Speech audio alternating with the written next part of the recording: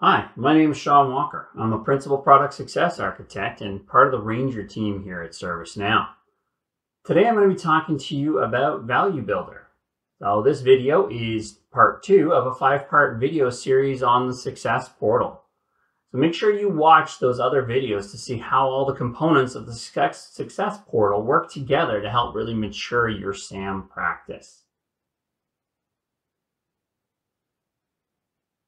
So today we're going to talk about Value Builder and talk about what it is. We're going to talk about Value Builder tasks, and then we're going to get into a demo where we actually go through and create a couple Value Builder tasks. What is Value Builder? So Value Builder is on the Success portal, and it really helps you maximize the usage of your SAM application capabilities by really getting insights into those integrations, playbooks, and other, other installations you could potentially do. So the value builder lets you learn how close your instance is to maximizing the value of the SAM application. It allows you to track uh, value builder tasks that are automatically generated when publisher packs aren't fully used and or identified as incomplete. Uh, allows you to manually create a bunch of value builder tasks uh, and you can actually assign those tasks to other departments and to other parts of the organization um, to really help you bring more value into SAM. Um, you can prioritize and increase the visibility of certain tasks. You can mark them as favorites. Uh, and you can also stay up to date with the new features that are available or coming available in the newer releases. So this is a, a screenshot from the Value Builder um, dashboard. And there's some really cool widgets on this dashboard that really help you make sure the health and, and all of the all the pieces of SAM application are, are installed in your environment. So the very first one is your SAM apps and plugins. And this displays all the plugins that are related to SAM that have been installed and have not been installed in your instance. So this will allow you to review through what hasn't been installed and see if that's something you want to go ahead and move forward with installing so you can gain the value from it. The publisher pack utilization is the same concept. It goes through and it identifies, you know, what publisher packs have been installed, what have not. And then if it finds usage for that publisher, it takes a look to see if you have any entitlements in the system um, for that specific metric group. So it really helps identify, you know, hey, you've got some usage of say Oracle, but you haven't got your entitlements in there yet. So you might want to look at doing that. Um, the next one's a really cool one called usage under management. And so this helps track the usage of, or the software usage.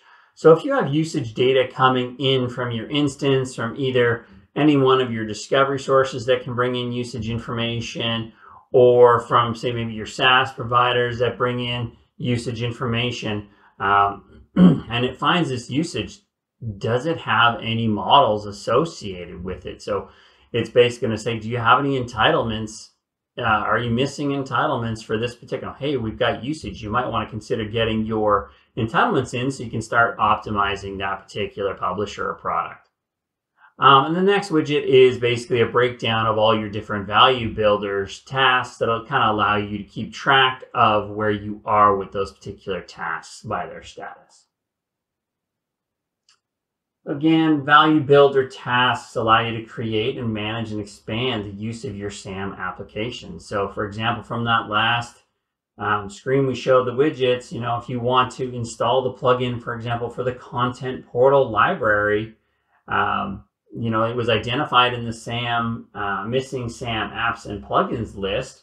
Um, you can go ahead and create a value builder task to go ahead and install that. So you could then also assign that task to another group or department. Um, one last thing is value builder tasks can also be associated with your success goals. So it helps kind of bring them all together. Now I'm going to jump into an instance and take you through the creation of value builder tasks.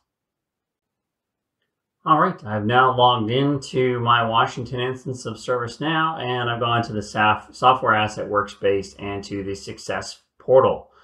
So to get to Value Builder, we come and click on Value Builder. So here are those widgets we showed in the presentation. So we can see here we got a list of SAM apps and plugins that are complete in this instance and incomplete in this instance. We also see publisher packs, ooh, 8 out of 8. So everything is installed and ready in this environment.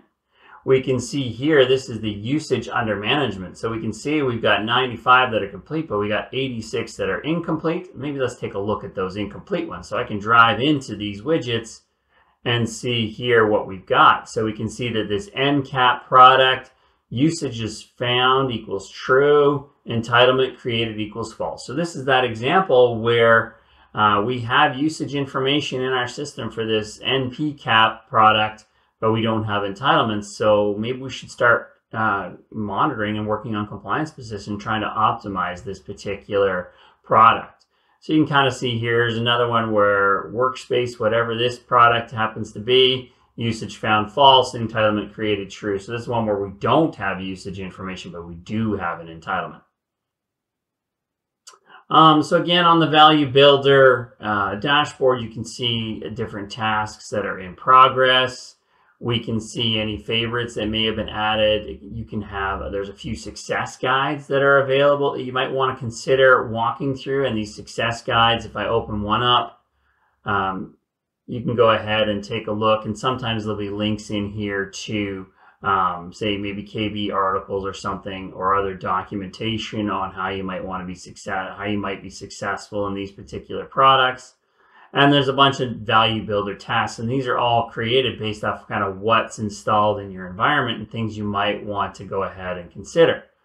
So if you remember in our, our last video, we were talking about, we created a successful goal for visibility into our end user compute environment. Um, and one was for Windows, one was for uh, one was for uh, Apple devices. So we talked about integrating, you know, having a goal to integrate with SCCM and Jamf. So we can see here on the value builder tasks, there's already one here for Jamf, and there's also one here for the Service Graph connector. So I can actually go through and I can actually take a look at what this value builder task is for SCCM. And when I read through it, I go, oh yeah, that's exactly what we want to be able to do um, to be able to get visibility. So we can actually align this to our success goal that we created earlier for visibility into end user compute assets. And we can actually assign this like we did to the goal. We can actually assign this to that SCCM support group um, for them to work on this particular value builder task. And we can save this and then when the team is ready to start this, um, they can go ahead and start this activity to um, do the integration with SCCM. So I'm just going to start this and save it. And then I'm going to come back in here. And if I just refresh this, it should start showing up into the in progress. So now I've got the SCCM showing up here, and I've got um, Jamf showing up here. And I can actually go into the Jamf one. Oh, look, it's not associated with the goal because that task was created. So let's just go clean that up and say, hey, this should be assigned, uh, should be created for, or sorry, assigned to that goal. And we should maybe make sure it's assigned to the Jamf support team. And we can save this one. And again, you can track all your work notes um, just like you would on any other incident or case or anything like that to be able to track the progress of this particular value builder task. Okay, so now we have two value builder tasks that are directly associated to our goals. Um, and we can go ahead and, and uh, start working on those particular goals and activities. Um, you can create manual uh, value builder tasks. So it could be integrate with, um, I'm not sure, let's see, Intune, for example. Maybe Intune has all our mobile devices. Um, and we want to track that. Uh, and again, so it's again, creating a, a, manual value builder task is very much like um, any other task creation gives you categories, right? In this case, it's already set to integration, which is exactly what we want.